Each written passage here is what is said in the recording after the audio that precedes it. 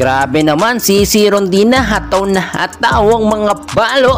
Ayaw talagang magpaawat. Pero binawian naman niya ni Majay Baron ng isang malakas naman na palo din. Hindi kumontra ang depensa dito ng Chocomucho Flying Titans. Eto pa isa Katolintino, most blocker sa PBL. Ang ganda ng depensang ginawa. Hindi nakapuntos dito ang PLDT.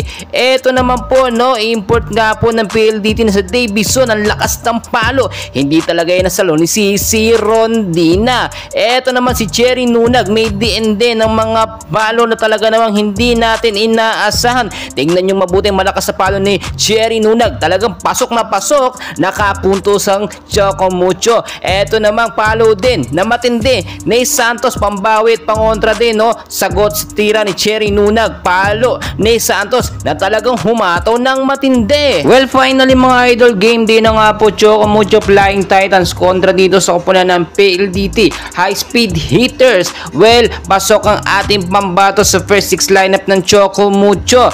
Pasok si Isa Molde, Ortiz, Maras Alba, Catolintino, Cici Rontina at Cherry Nudag. Set 1 ng game, first points nakuha ng Choco Mucho Flying Titans. So kinakababa ng Choco Mucho ang kanilang chemistry dito sa set 1 dahil iba talaga at lumakas ang depensa dito ng PLDT.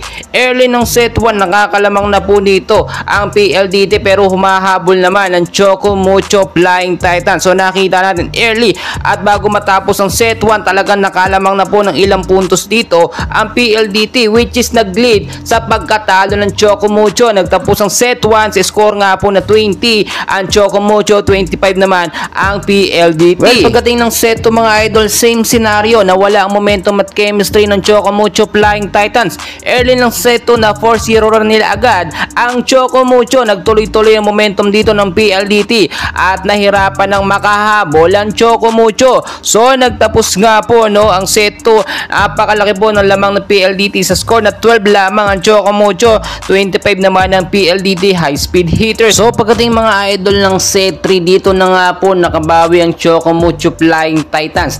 Binago nila ang kanilang sistema. Pinalakas ang depensa at opensa. Kaya naman nabigyan nila o nanalo sila dito sa set 3 kontra sa kupunan ng PLDT high speed hitters. Pagdating ng set 4 nakita nyo naman kung paano talaga nag-advance thinking dito ang Chocomucho Flying Titans. Ilan po ang nailamang nila sa early ng set 4 at talagang napakaganda ng performance at highlights po na ginagawa ngayon ng Chocomucho. Hindi na nakahabol po no itong PLDT pagdating sa set 4 kaya naman nagtuloy-tuloy ang magandang momentum ng Chocomucho Flying Titans. Pero pagdating nga po ng set 5 ay naging very intense ang naging laban. Talagang di kita ng score nila at naghahabulan sila sa score pero nakita natin yung consistency dito nga po sa PLDT at talagang binuhos na nila ang lahat ng kanilang galing dito sa set 5 at nakuha nila ang pagkapanalo kontra sa Chocomucho Flying Titans.